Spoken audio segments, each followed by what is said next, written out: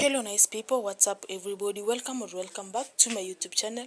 My beautiful name is fema love and this is fema love video. Well guys if you're a new member here please please make sure you subscribe by tapping that black button written subscribe. Also press the notification bell so that you can not miss out on my daily updates.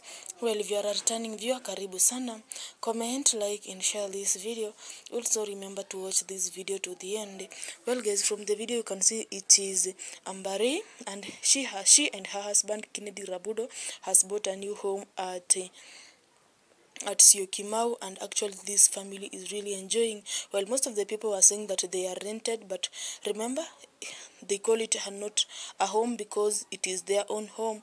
Remember Amber Ray is actually not new to Syokimau because she, she used to live there some times back. Well, they it seems that they have bought this home and they are going to enjoy the best moment together with their families at this place. Well, guys, what do you think about this issue? Do you think this house is rented or do you think they bought it? Please make sure that you comment down there on the comment section.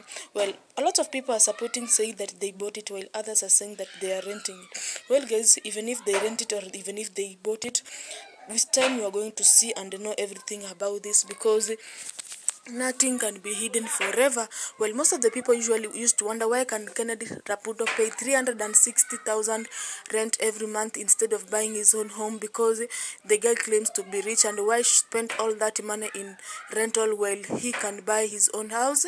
So guys that is what people were asking themselves well guys what do you think about this whole issue? Make sure that you comment down there on the comment section. I really love love you so very very much. See you on the next video. Next time bye bye